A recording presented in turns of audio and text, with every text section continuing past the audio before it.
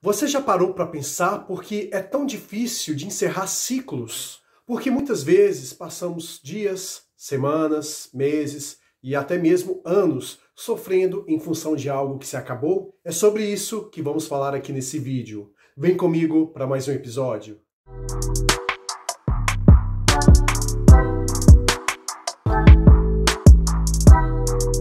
Pessoal, a todos que estão chegando agora, principalmente aqueles que caíram de paraquedas aqui no canal, peço por gentileza que se inscreva aqui no Vida Cotidiana.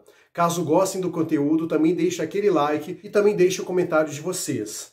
É muito importante que vocês participem do canal, pois somente assim que ele cresce e o algoritmo entende que ele é relevante e distribui para mais pessoas, ok? Então vamos falar hoje sobre os términos. Sabemos que tudo que começa um dia acaba. Não tem como fugir dessa lei inevitável da natureza. Aquilo que está fora do nosso controle, como eu disse no vídeo anterior falando sobre o estoicismo, é o que rege o acaso.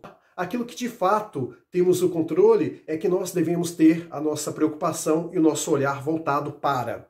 Então, partindo dessa premissa, entendemos que o fim é algo que está totalmente fora do nosso controle.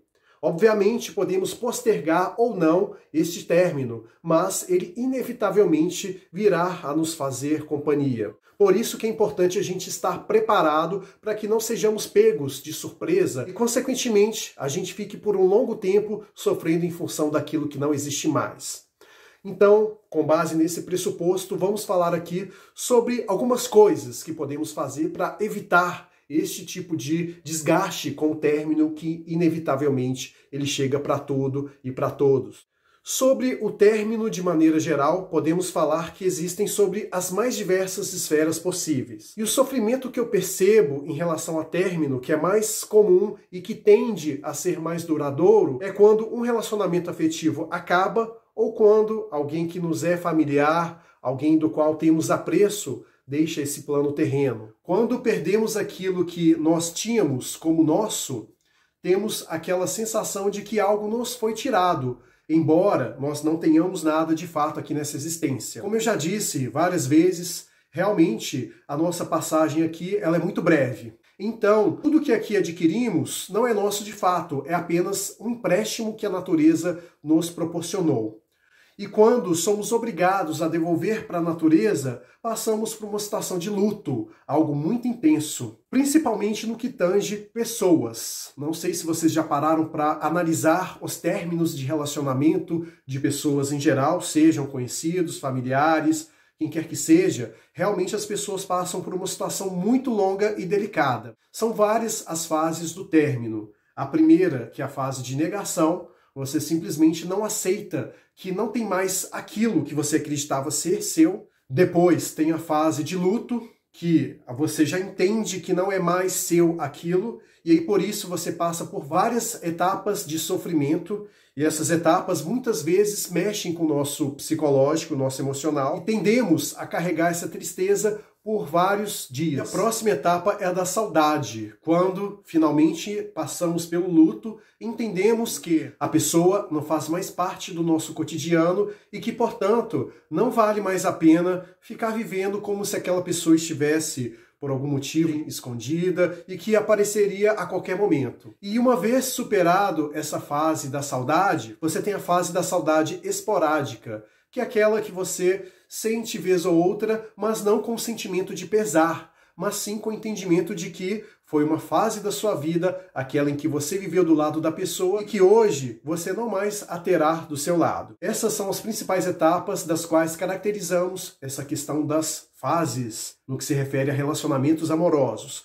É claro que muitas dessas fases pode ser levada em consideração também para um luto, e também para a perda de qualquer outra coisa que você venha a ter, só que de uma maneira mais exemplificada, ela é mais bem relacionada com essa parte dos términos. Então, de uma maneira simplista, o que eu vos digo é o seguinte: uma vez que a gente tem a consciência de que nada é de fato permanente, podemos entender e enxergar a vida com outros olhos, e principalmente com aqueles olhos de que temos que viver o momento presente, sem aquela angústia de que algo vai acabar. Porque a partir do momento em que você projeta toda a sua energia em prol daquilo que nem aconteceu ainda, você está sendo submerso a um mar de frustrações. Portanto, viver o agora, por mais que seja muitas vezes difícil, com esse bombardeio de informações que a gente tem o tempo todo, com esses estímulos e recompensas de uma maneira um tanto quanto desenfreada, a gente acaba ficando meio louco em meio a todo a esse caos. Por isso, é importante você dar vazão à sua criatividade, você tentar extravasar essa energia em prol de outras coisas que lhe trarão maior produtividade, maior felicidade e maior calma. A partir do momento que você enxerga o momento presente como o que de fato lhe pertence e o que de fato está sob a sua alçada, fazer e desfazer o que quer que seja, você passará a entender o fim como uma etapa do processo e não como uma penalidade o fim das coisas é natural, é normal e faz parte do todo.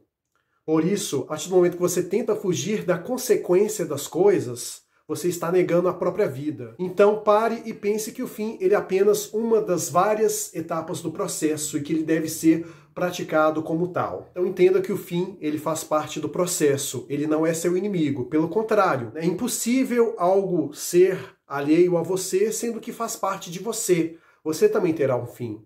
E, portanto, isso deve ser encarado de uma maneira muito natural, porque não adianta fugir de algo que inevitavelmente está à sua espera. Então é isso, pessoal. Muito obrigado a todos que ficaram até o fim. até o vídeo tem um fim de fato, tá vendo? Deixe seu comentário. Te vejo no próximo vídeo. Um forte abraço e até breve.